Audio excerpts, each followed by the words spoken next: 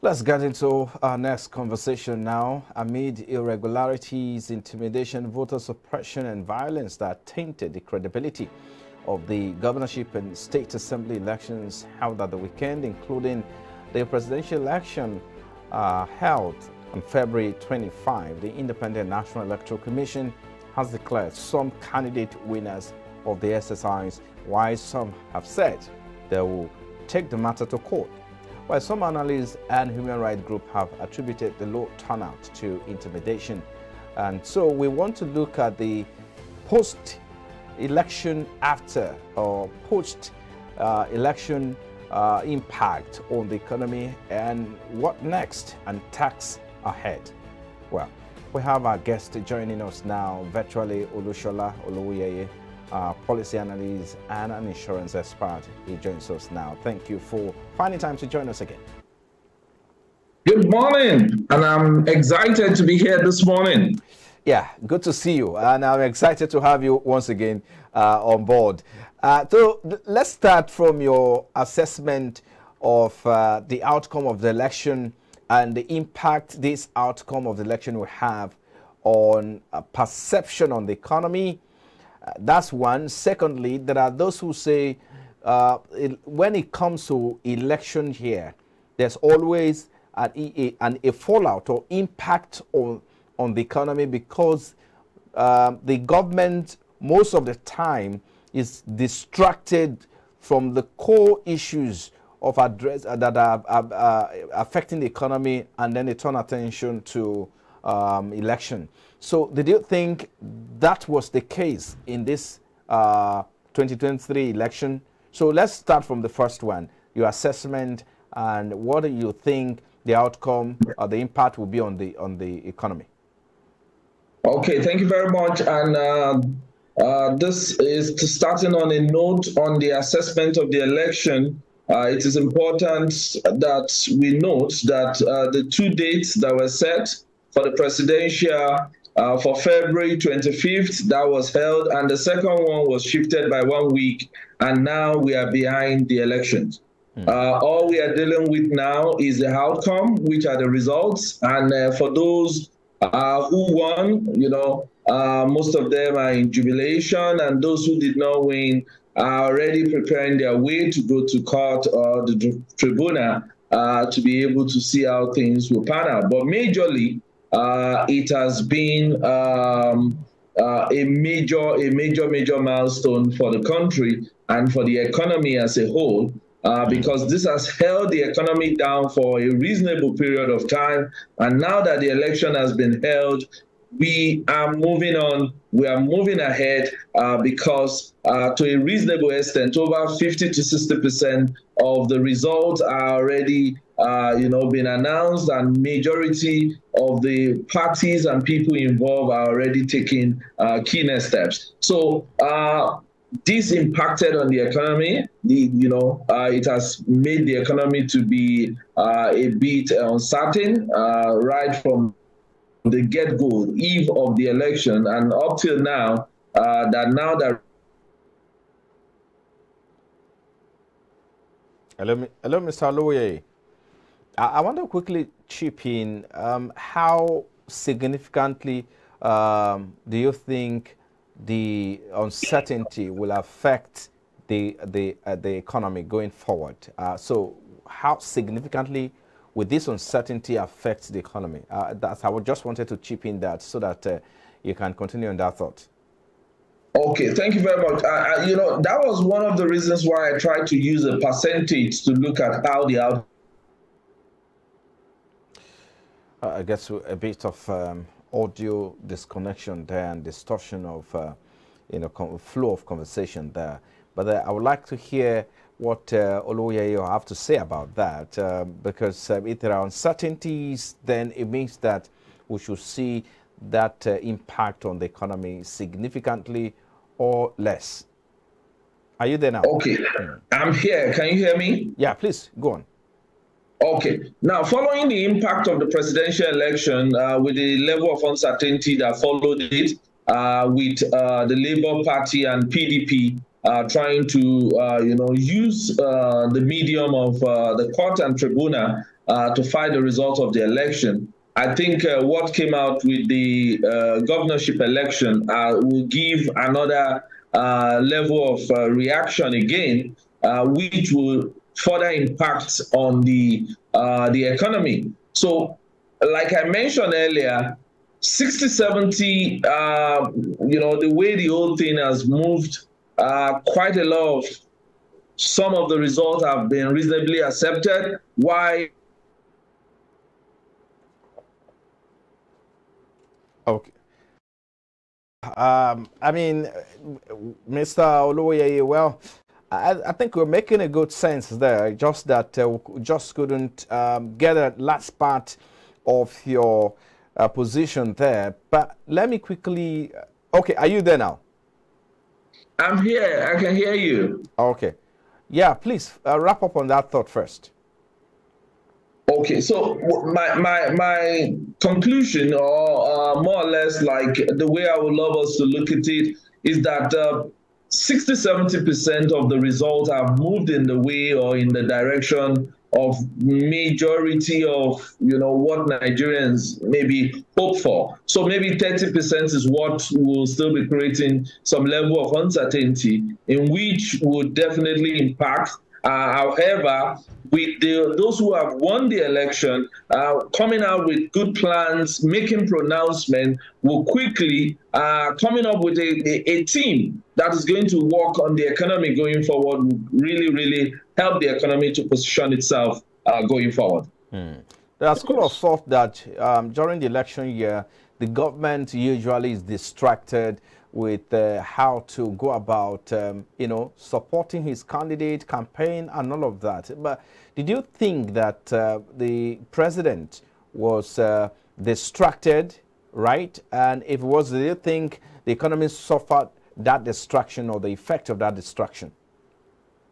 Okay, uh, you, you you made a very good assumption, but uh, looking at the way uh, Nigeria president this time around, uh, President Buhari has been able to address this. Uh, majority of the key uh, cabinet members were not allowed to be actively involved in the campaign, and you can see that Mr. Uh, the, the, the VP was not at all involved in the process. Uh, so also, uh, I know there are other uh, senior cabinet members that were not also allowed so as to pay attention uh, to the economy.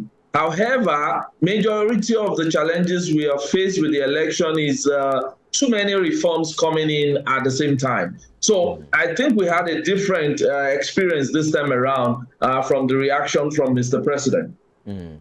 So, so now that elections uh, have come and they are gone, so what next? Uh, not undermining litigations that are going to, there are going to be the gale of litigations at the presidential poll and of course at the governorship poll because we understand that uh, even some political parties have already, you know, rejected or are contesting, are going to be contesting the result of the outcome of uh, the election at the state level.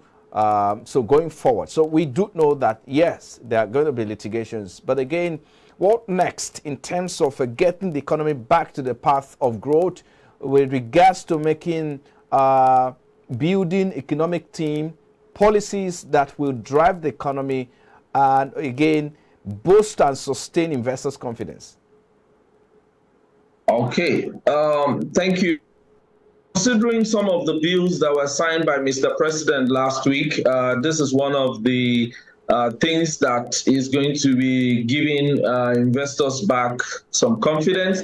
Uh, Mr. President I've signed a bill that gives autonomy uh, to states to be able to generate their own power and distribute power. Uh, there are quite a lot of bills that were signed in uh, just to be able to restore, you know, confidence back into the economy. And looking at how the election have panned out, I think most of the political parties, uh, majority, uh, the ruling party has been able to maintain uh, their hold in some of the major states, uh, which I believe uh, they, this will allow us to be able. Oh no! Uh, well, I, I, I wish we we get the the conversation, you know, we get that flow of, of, of conversation going with Mr. Oloye. Uh, just the fact that uh, there's a disruption there. But I, I think quite um, interesting point you're making there. So, but I would like to hear uh, you, you know, wrap, I mean, uh, continue on that path again as regards to the policies and um, particularly you also mentioned that uh, the, the president signed some bill into law uh, last week. So talk to us about that. Okay, now the decision to sign in some of those bills at this particular point in time has also, uh, re, you know, reflected in some of the reactions and how the economy uh, will respond to states now being able uh, to generate their own power and distribute power, and uh, you know, trying to restore you know confidence back in the economy. However, most of these things are all happening almost the same time uh, with other, you know, policies also uh, coming uh, in place. So, but like I mentioned, the second part we should look at is that most of the uh, uh, states that are being uh, managed by the ruling party are also being maintained. Uh, we've seen that happen in Ogun State. We've seen it happen in Lagos. And we have seen quite a lot of states like even Cross River. I was, you know, Cross Rivers 2 was also maintained by APC. And, you know, uh, this will allow the new administration to set in, uh, to settle in uh, on time. And we've also seen it reflected uh, in the Senate. So I think the major thing that will bring about that immediate response to the economy is, you know, uh, pronouncement about a team that is going to be running the economy going forward and making pronouncement. I'm sure with the new administration, the issue of subsidy uh, will be one of the priority uh, to be addressed very quickly uh, as uh, they move in into action. Uh, because once that is also done, you know, it restores quite a lot of confidence back into the into the into the economy. Mm. Okay, you talk about um, the president signing um, some bills into law, uh, and you made mention of uh, power decentralization. So let's look at uh, the change that is likely to bring into the economy, into the system. What is likely to play out with that, with the signing of the bill that and uh, that we now have in the system. Okay, now one of the major critical impacts that that bill is going to uh, bring about is now investors have more confidence that everything can now be handled at a state level. I don't need to generate and send all the power to the central grid before distribution is being done. And then this as you know the the the the, the mid tier there between the gencos and the disco uh, where government is sitting in the middle of all the uh, privatization this has now been given to states to manage from end to what end to end. And this gives investors more confidence and be sure that we can price this in the right way and we can deliver the right value and get you know our, our, our, money for whatever investment that we are what we are making. Less level of intervention of what government in the whole of this. Uh, you can't afford to generate power uh, maybe somewhere in lagos and then you have to send it to central grid before it is being then being distributed uh, before uh, you know you know how to even generate your your your returns what back. So this is going to make it a bit more seamless and allow investors uh, to be able to, uh, to come in. This is going to help the industry and is going to increase value uh, across board, total uh, you know value around around the whole uh, value chain. Every stakeholders will now have more confidence in doing what they are doing. Mm. Mm.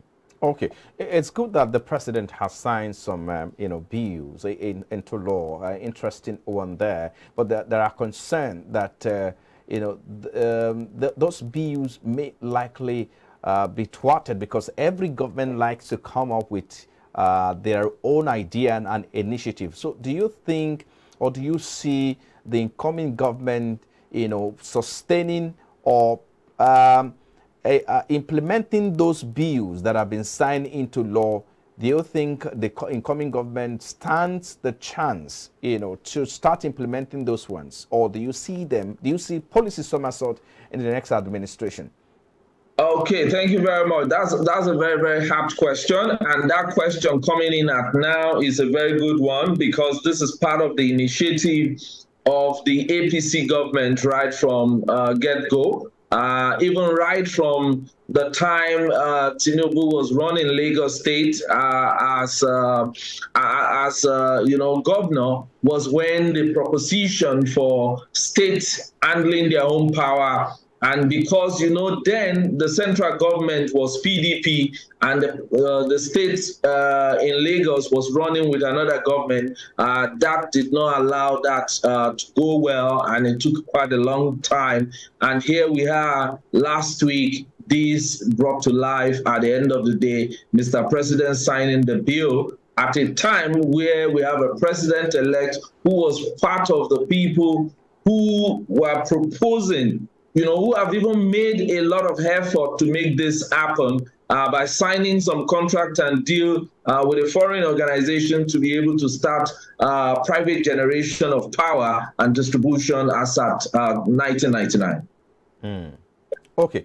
Just so I don't see I don't see any form of somersault happening. Mm, because I asked that question because some people are saying uh, this last minute uh, rush, you know, to uh, perhaps create a legacy or to make a good image of yourself uh, may not stand the test of time because of, of uh, the record of policy somersault with every successful government. That's why I asked that question.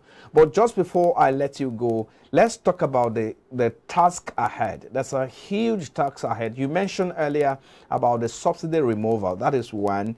And we have other issues, other structural issues uh, at hand uh, that are staring in our face. The issue of insecurity is there, that farmers have not been able to go to farms, and that is why you see that the food inflation has gone up. But so for you, what is the, in terms of addressing key tasks ahead, what will be the core task that needs to be addressed in the coming, I mean, if the coming administration more. I, I, I, can't hear you any longer. Towards okay. the tail end, I didn't get to hear you, but I, I was I was clear about your initial uh, okay. Uh, question. So I was I was. Can you hear me? Can now? you hear me, please? Yes, I can hear you. I don't know if you can hear me now, but okay, it's better now. I can hear you. Okay, okay, great. So I, I was asking you that for you, what would be the major task?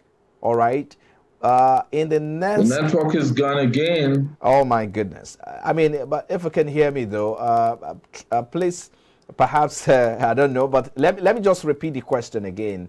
I was asking you that for you, what would be the major uh, issue or task ahead of the incoming government that will help the government hit the ground running that will help the government. The network is really bad. I can't hear you at all. Oh my goodness! I, I think at this okay. point, okay, okay, okay. Just talk yeah, to us about. Finally, just give us your last thought about the coming administration and the task ahead. Okay, with the coming administration and the task ahead, uh, it's important that uh, most of these uh, issues around the court cases uh, get settled on time uh, because the new administration coming in have quite a lot of uh, work ahead of them. And that's why the first key thing we'll be looking out for is the kind of team that is going to be put together uh, to start addressing the economy. And first of all, the issue of subsidies should be one of the uh, first uh, areas that needs to be addressed. And then the issue of uh, insecurity, uh, which has, you know, affected quite a lot of things in terms of agriculture, in terms of, uh, you know, businesses being able to thrive. And I know that by the time the team is being put. Oh my goodness! Um, I, I, I, wanted you to wrap up, and so that uh, we can bring this discussion to a close. But I don't know if you can hear me. But I just I would love to hear the last part of um, your that conversation there. So if you can hear me, I wanted to hear the last part of that, uh, you know, that line of thought, uh, so we can wrap up and close up on this conversation. Okay, so can you hear me now? Yes, please go ahead. Okay. uh, the, the, the team being put together by the new uh, administration is going to play a critical role uh, in determining what next. And uh, one of the key issues are area of uh, the economy, stabilizing the economy, restoring confidence back into the economy. And one of it to show that they are very serious and they want to make things uh, happen is by starting off with uh, the subsidy issue. Okay. And I want to believe that they will be removing the subsidy. And then from there, we can be addressing security and others. Thank you. All right. Uh, Lushola Oluwoyeye, policy analyst. Thank you for coming on board. We appreciate your time. I'll still to come after the break. We'll turn attention to the global oil market as we look at the uh, oil market and, of course, stocks. So we'll be back in a moment. Please stay with us.